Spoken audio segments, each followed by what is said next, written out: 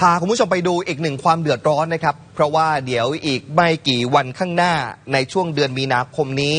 ราคาก๊าซหุงต้มนั้นจะปรับขึ้น วันนี้ก็เลยมีเสียงสะท้อนนะครับพ่อค้าแม่ค้าบ่นกันทั่วหน้าครับว่าราคาก๊าซหุงต้มที่จะขยับขึ้นอีกต่อกิโลเนี่ยหบาท เท่ากับว่าถังที่เราใช้กันทั่วไปถัง 15 โล ก็จะปรับขึ้น 15 บาทในเดือนมีนาคมนี้ บางคนบอกว่าถ้าราคาต้นทุนยังปรับขึ้นสูงแบบนี้อีกนะครับ ก็มีโอกาสครับที่ราคาอาหารนั้น ก็อาจจะต้องปรับขึ้นตามไปด้วยครับ ผู้สื่อข่าวของเราลงพื้นที่ไปสำรวจตลาดนะครับ ก็ไปตรวจสอบดูที่ร้านขายของทอด ร้านข้าวแกง ร้านอาหารตามสั่ง ย่านบางใหญ่จังหวัดนนทบุรี ก็พ่อค้าแม่ค้าหลายคนยอมรับครับว่าอาจจะต้องปรับขึ้นราคาอาหารกันบ้างครับ เพราะว่าราคาก๊าซหุงต้มจะสูงขึ้นอีกแล้ว อยากจะขอให้ทางภาครัฐได้พิจารณาตรึงราคาค่าก๊าซต่อออกไปก่อนนะครับอย่างเจ้าของร้านหมูทอดชวังที่ตลาดดอนพรมบอกว่าปัจจุบันเนี่ยราคาก๊าซ ถัง 15 กิโลกรัม ถังหนึ่งก็ 420 บาท ก็ถือว่าสูงมากอยู่แล้วครับ ถ้าหากว่าเดือนมีนาคมนี้ปรับขึ้นอีกรอบหนึ่งเนี่ยจะทำให้ทางร้านมีต้นทุนเพิ่ม 5-15%นอกจากนี้ยังต้องแบกรับต้นทุนวัตถุดิบนะครับ ไม่ว่าจะเนื้อหมูน้ำมันพืช ที่ก็มีราคาสูงขึ้น ยิ่งทำให้ไม่เหลือกำไรกันแล้วครับ ซึ่งทางผู้ค้าเนี่ยบอกว่าจะต้องรอดูสถานการณ์ ก่อนที่จะพิจารณาปรับขึ้นราคาค่าอาหารอีกครั้งนะครับ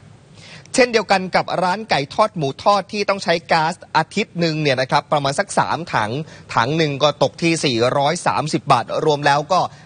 1,290 บาท โดยผู้ค้าบอกว่าหากปรับขึ้นอีก ต้องขึ้นราคาสินค้าเช่นเดียวกันเพราะว่าแบกรับต้นทุนไม่ไหวแล้วจริง ๆ ครับ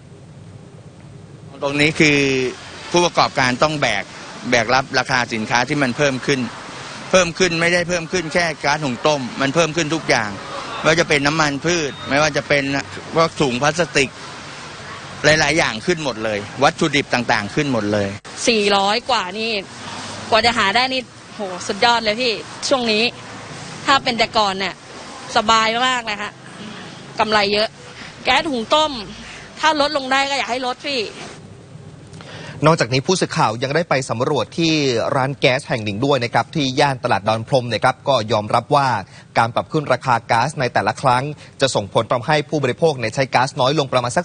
10%โดยส่วนใหญ่แล้วเป็นกลุ่มผู้ใช้บัตรสวัสดิการแห่งรัฐ และแม่ค้าอาหารตามสั่ง ส่วนราคาหน้าร้านในปัจจุบันก็อยู่ที่ถังละ 408 บาทครับยังไม่รวมกับค่าขนส่งที่จะแตกต่างกันไปนะครับก็มีตั้งแต่ 5 บาทขึ้นไป จนถึง 35 บาทก็แล้วแต่ระยะทางส่ง